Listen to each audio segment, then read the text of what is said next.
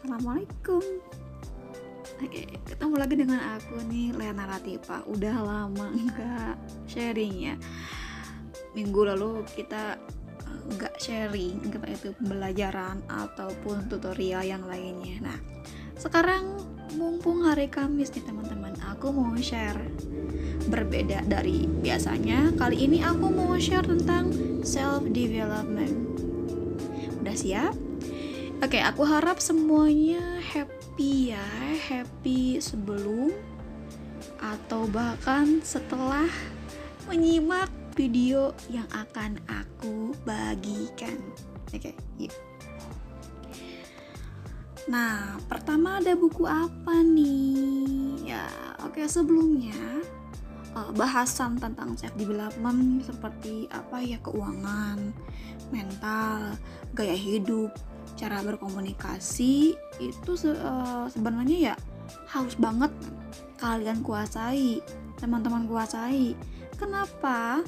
Yaitu sangat penting agar hidup lebih damai dan berkesan. Nah, penasaran buku apa aja? Simak videonya sampai selesai ya. Nah, pertama ada apa ini? nah, ada yang sudah baca buku ini belum? Buku ini ditulis oleh Marie Kondo, salah satu pengelola bisnis konsultan asal Jepang. Bagi kalian yang merasa tidak lihai dalam membersihkan ruangan, wajib banget baca buku seni beres-beres dan metode merapikan ala Jepang atau disebut The Life Changing Magic of Tidying Up.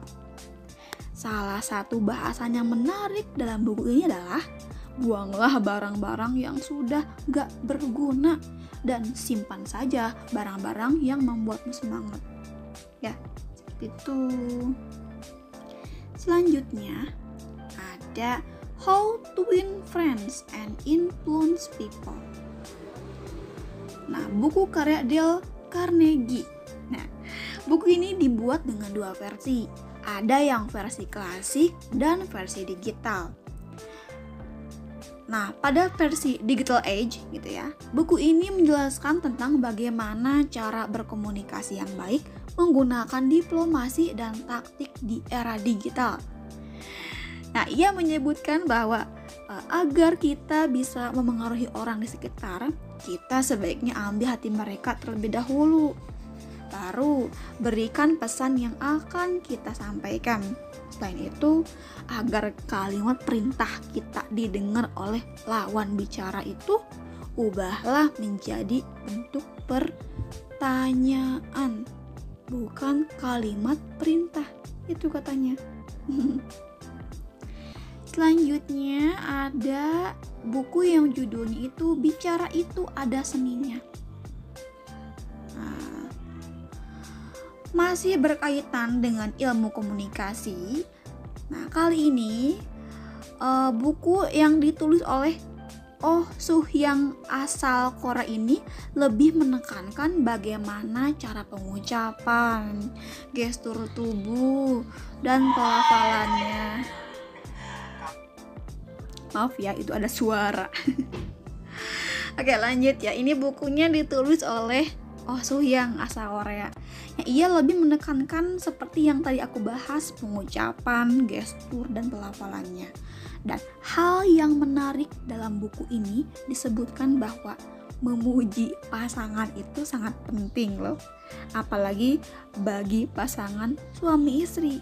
Hal ini wajib banget dipelajari Nah, meskipun sibuk gitu ya, sering-seringlah katanya bertanya hal sepele kepada pasangan, apalagi tentang pekerjaannya, agar beban pasangan itu sedikit berkurang dengan bercerita denganmu pastinya ya.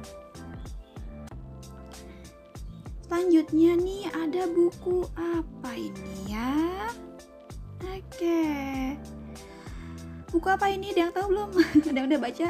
Nah, beralih ke masalah keuangan nih sekarangnya ada buku Rich Dad Poor Dad karya Robert T. Kiyosaki yang wajib banget kamu baca. Buku ini mengulas tentang pentingnya pendidikan mengelola keuangan sejak dini. pendidikan keuangan biasanya sih tidak secara eksplisit dijelaskan di sekolah.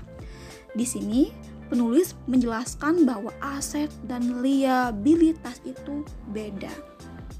Ya, buku ini menepis pendapat orang yang menganggap bahwa rumah itu sebagai aset, padahal rumah itu adalah liabilitas. Nah, selain Rich Dad Poor Dad gitu ya, Robert ini men, uh, apa sih? menulis banyak buku yang berkaitan dengan keuangan. Dan salah satu buku yang uh, recommended yang wajib banget kalian baca adalah buku tentang Rich Dad Poor Dad coba deh nanti ketagihan loh selanjutnya ada ini yang terakhir ya ada buku Seni Hidup Minimalis karya Francine Jay nah sesuai judulnya ada kata minimalis yang digambarkan dengan sangat detail. Dalam buku ini dijelaskan bahwa dengan memiliki sedikit koleksi barang, stres juga akan hilang. Kayak gitu. Nah, buat kamu yang ingin baca, yang tujuannya untuk mengembangkan diri, daftar buku yang tadi itu uh, bisa kamu jadikan pilihan. Coba di sini ada nggak rekomendasi buku yang lain? Coba dong beri komentar